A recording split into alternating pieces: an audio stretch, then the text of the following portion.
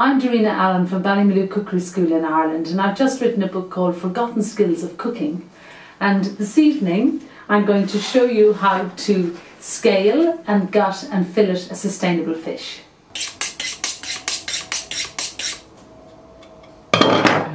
Good. Now we have in here a little sea bass, a beautiful fresh sea bass.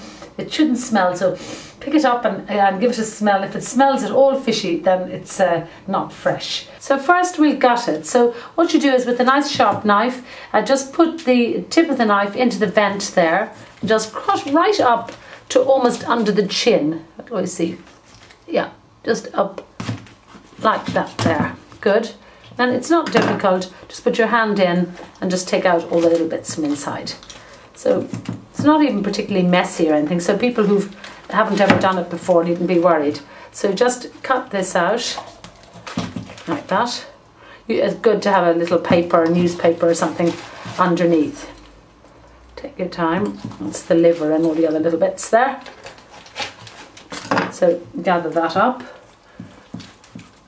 And then we'll just take those up and discard or give it to your cat or something. Now at this point we give it a good wash under the sink but also I'm actually going to scale the fish as well because some fish have quite big scales. Look you see like this here you can see the size of those scales uh, and if you're going to pan grill this or something you definitely need to take the scales off.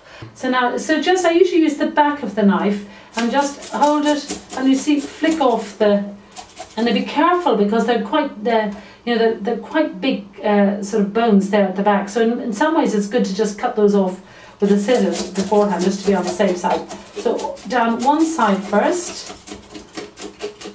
and then turn it over onto the other side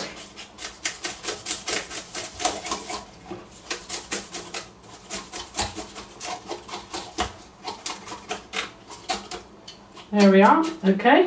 Now give it a good wash. And also wash out the inside as well. Now, if you're going to cook it whole, you don't want to be particularly meticulous about cooking out, uh, about washing out the inside. But if, if you're going to fillet it, it doesn't really matter quite so much. So now I'm just going to fillet the fish. Uh, so, and that's quite easy too, but you need a good sharp knife, preferably a filleting knife with a flexible blade if you can. So first and foremost, take the head off. Now, um, just cut, catch up the little fin and cut around like that in behind that fin there and then turn it over onto the other side. Lift up the fin again and cut into a V-shaped piece on the head because there's a nice bit of meat there so it's a pity to lose it and then just twist off the head like that. Then uh, put your finger on the back of the blade. You want a sort of flexible blade like that. Put your finger on the back of the blade. Anytime you're using the, the tip of the knife finger on the back of the blade and cut just above. There we are like that, right down to the very end. Now, then use your, the knife is very important, but you also need to use your thumb as well to feel where you're going. So keep the thumb, your thumb just in in front of the knife, just a little small, uh, little strokes like that. Just cut in, and then well, you'll feel where the bones are. Now there's another line of bones just in here. And these are quite big bones actually. A lot of fishmongers just cut straight through but I normally would put, put my knife underneath those bones and take them out again and then slip the knife underneath to cut the fillet off the rib cage. So that's one little fillet off like that. Now right, feel around with your fingers just to make sure that there are no extra bones in the center there. So that's one fillet and then uh, turn it over but if you leave the fish like that uh, I started from the head to the tail that time but if I turn it over like this I'd be working underneath my arm so it's quite dangerous to do that. So always never if anytime you feel clumsy or awkward you're in the wrong position. So just turn the fish around and this time start from the tail to the head. So it's the same thing just cut.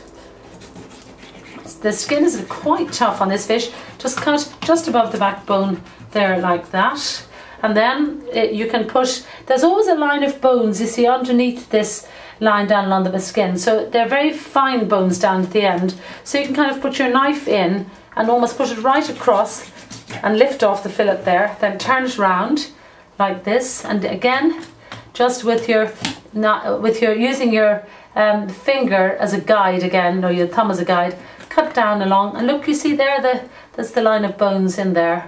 Just push off the bones, push off the flesh, off the bones. You see the line of bones, and then lift to put your knife underneath and lift out that those bones and leave them attached to the carcass like that and then turn it around again and just take the slide off the fillet just off the rib cage. So there's three little lines of bones there. Now I know in the fishmongers they just cut straight through that centre bit, but then you have bones in the middle, which you'd prefer not to have. Okay, so this can go be made into a fish stock, uh, the carcass, give it a good wash and make it into a fish stock.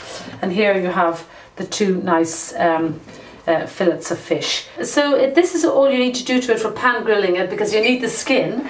Uh, but for example, if you wanted to take it off the skin, let me show you how to skin it. That's very easy too. You just literally put it skin side down on the board and then hold on to the skin and just cut down as far as the skin and then with your knife at a sort of 45 degree angle kind of hold on to it like that and just kind of wiggle it like that and then you can uh, take off the skin. So there we are, so that's it.